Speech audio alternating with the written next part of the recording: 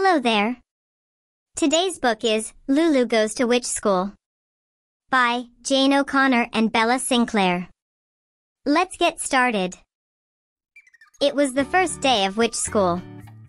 Lulu Witch was happy and scared. Lulu could not eat her frosting snake flakes. She felt as if bats were inside her tummy. Lulu got a new broom and her Dracula lunchbox. Mama Witch kissed Lulu Witch. Lulu Witch walked school as fast as she could. She did not want to be late. A big witch stood outside the school. Hello, I'm Miss Slime. She said. Miss Slime had a long nose and a wart on her chin. Miss Slime was very pretty. Miss Slime took Lulu to her classroom and showed Lulu her cubbyhole. You can put your broom and your lunchbox here. Miss Slime said. Lulu sat down at the big table. A little witch with curly hair sat next to her. Hello, I'm Lulu Witch. Said Lulu. Hello, I'm Sandy Witch.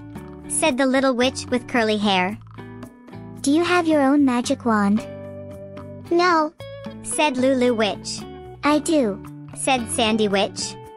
Do you have your own black cat? Not yet. Said Lulu Witch. I do. Said Sandy Witch. Do you have your own broom? Asked Lulu Witch. Of course. Said Sandy Witch. I got my first broom when I was three. Miss Slime was standing in front of the class. So Lulu Witch and Sandy Witch stopped talking. Firstly, sang a song called Happy Witches Are We. Sandy Witch already knew the words. Then they drew pictures. Sandy Witch's picture was so good, Miss Slime put it on the wall. At snack time, Sandy Witch got to pass out the list of cookies. After that, Miss Slime told the little witches to get their brooms.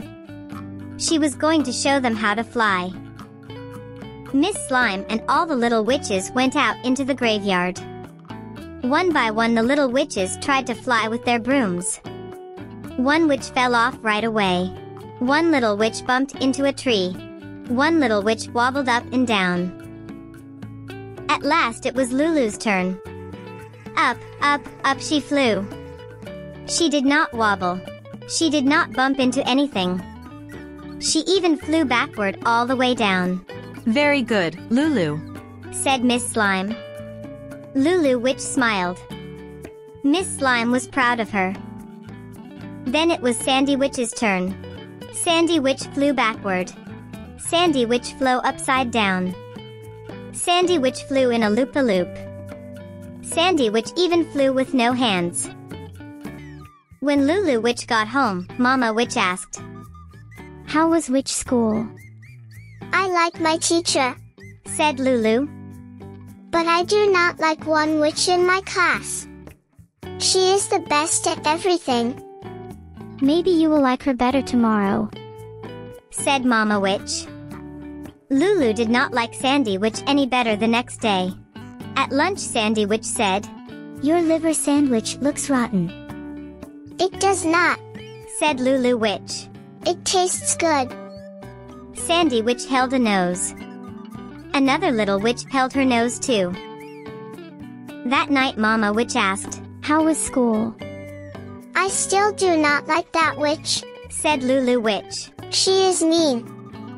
Don't look so mad. said Mama Witch. Come and see. I made a new dress for you.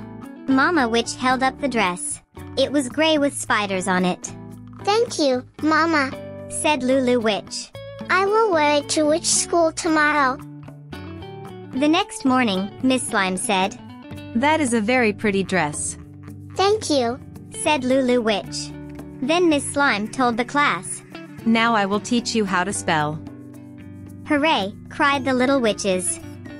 Sandy Witch put up a hand. I can spell already. She said, Will you show the class? asked Miss Slime. Sandy Witch stood up. She got out her magic wand, First you close your eyes. said Sandy Witch. Then you wave your magic wand and then you say the magic words. Sandy Witch looked right at Luna Witch. Then she closed her eyes. She waved her magic wand and said, Lucas Pocus Watercress. Watch me change old Lulu's dress.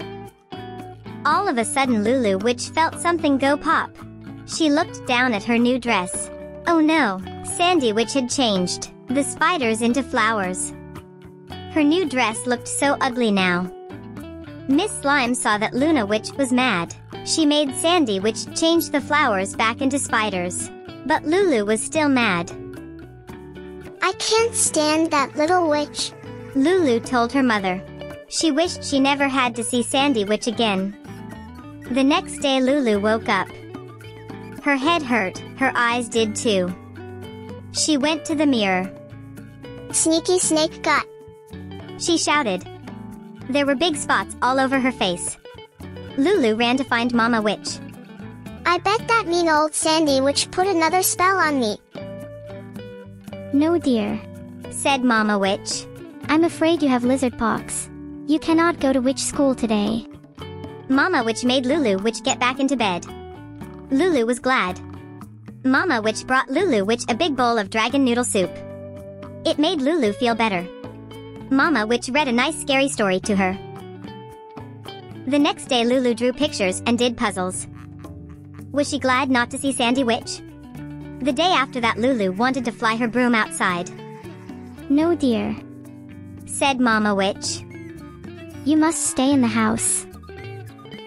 But there is nothing to do. Lulu Witch said.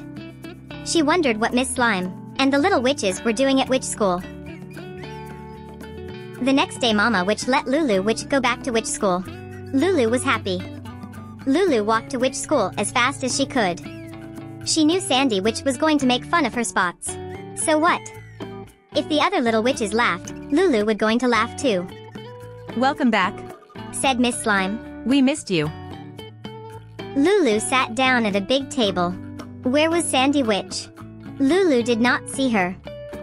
Then Sandy Witch came in the door. There were spots all over her face. You, have, lizard, lizard pox. Lulu Witch and Sandy Witch shouted at the same time. You look funny, said Sandy Witch. You do too, said Lulu Witch. They both laughed, ha ha ha. I bet I have more spots than you, said Sandy Witch. We will count and see, said Lulu Witch. Lulu Witch counted the spots on Sandy Witch's face. There were 67. And Sandy Witch counted Lulu's spots. There were 69. You win, said Sandy Witch. Lulu smiled. The end.